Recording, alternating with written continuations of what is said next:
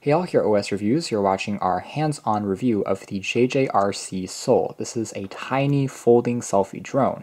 Typically what I mean by small, it's going to be about the size of a paperback book, so something maybe this size. But this drone is much smaller. JJRC is a company that we've seen uh, in the past already. We saw another low-cost selfie drone from them. That one uh, had a slightly larger form factor, was a little bit cheaper. This one sells for about $45, so it's still quite affordable, and the packaging here is pretty simple if we can pull out to reveal what is a instruction manual right on top. Here's the drone itself. Let's take a closer look in a second. And down below here, we have some of the other contents, including the remote control, which is also extremely flat as well as portable. And finally, underneath this, we have a spare propeller in addition to the charging cable. This battery I actually put in here myself. It's not uh, the way it was packaged originally, but just to give, give you guys an idea, this is what the charger looks like. It uses a small pin-based connector here. And there's also, again, the aforementioned spare propeller tips. All right, so taking a look at the design of the drone here, uh, so everything folds down like this. So it really is tiny. Um, in terms of the front, again, it's about the same size as a fitness tracker or a credit card. It tucks away extremely easily into a pocket, but you probably would want to put it into a case just to prevent it from getting damaged, and it is extremely lightweight as well. Definitely has a very attractive and clean looking design. We have the logo on the top, simply a power key, the Sol logo, and you can see how the propellers fold very easily onto uh, these protective hinges. How you eject them is using these buttons both on the front left and on the right of the drone. So I can snap on it once to release the left and right, and then once more to release these two. Um, so it pops out like this, and now we have a fully functioning micro drone.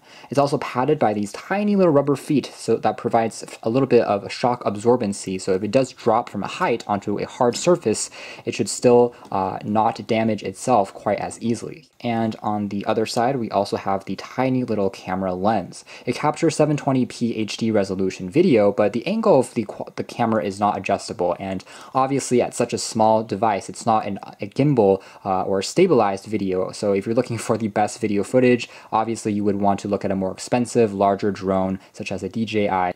Taking a quick look at the app, the first thing that you need to do is connect to the drone's Wi-Fi. So you go into Wi-Fi settings on your phone, select the JJRC, and then open up the app itself, and you'll be connected. You'll see a view of what the camera is seeing on the drone, and from first impressions, you can see that the image quality isn't quite as poor as what you'd expect on such a budget and small unit. Um, it actually has pretty accurate looking colors. The only downside really is going to be the resolution. It's uh, only going to be approximately a 2 megapixel camera, so if you do a lot of zooming you'll lose the detail pretty quickly. But you can see that in indoors as well as outdoors and good lighting environments, it actually does a decent job. Uh, so the interface here is the same as what we saw on the previous JJRC drones. Allows us to quickly capture an image.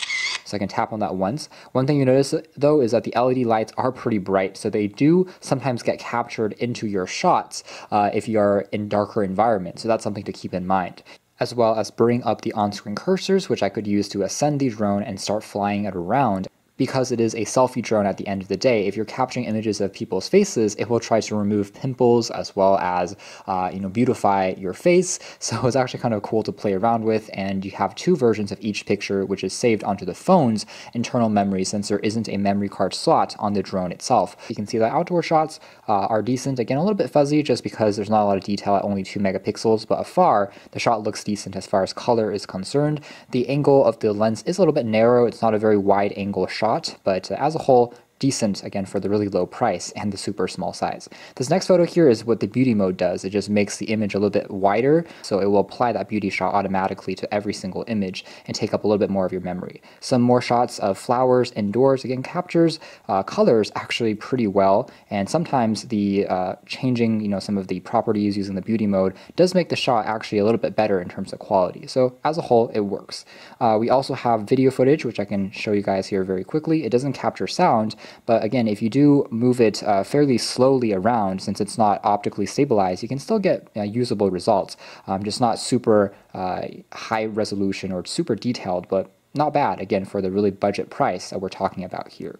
To pair the drone, we're just going to use the joystick, press it up and then press it down in sequential order until the lights stop flashing. I can also calibrate it by tapping on the top key here for a few seconds, and then it will calibrate the gyroscopes so the motion is done. Afterwards, I can tap on this right shoulder key for it to automatically hover to, to 1.5 feet, which uh, JJRC claims is the optimal height for capturing people's faces for selfies. So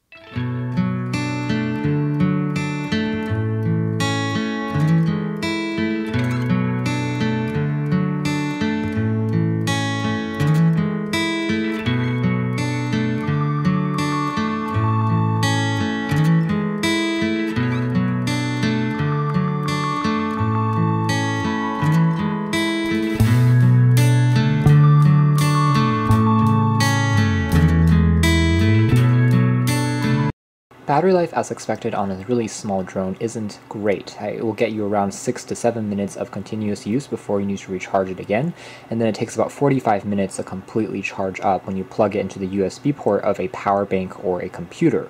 And this is definitely a drone you would want to fly indoors, and if outdoors, you would want to use it when there's no wind around, since it's very lightweight, it will float pretty easily.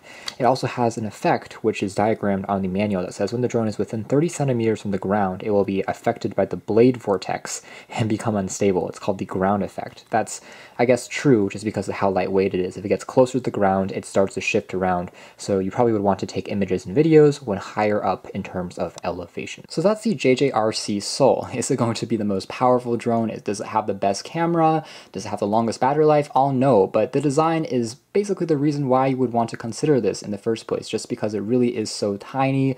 Uh, it's so cool in terms of how it's engineered, and it almost seems like a collectible in many ways. It's not going to be a daily driver, but for something that really is so portable, if you want to travel light, if you just want something for occasional use, it actually performs much better than you think. And I think JJRC just did a really awesome job as far as the design is concerned. Again, it really is one of the most clever and original designs I've seen uh, in drones in a long time. And I do think that even if they have a larger form factor with a more powerful version, it could be quite versatile and useful for folks wanting to travel light or having something ultra slim to take with them when on the go. So thanks for watching this video here at OS Reviews. That's been the JJRC Sol tiny slash micro selfie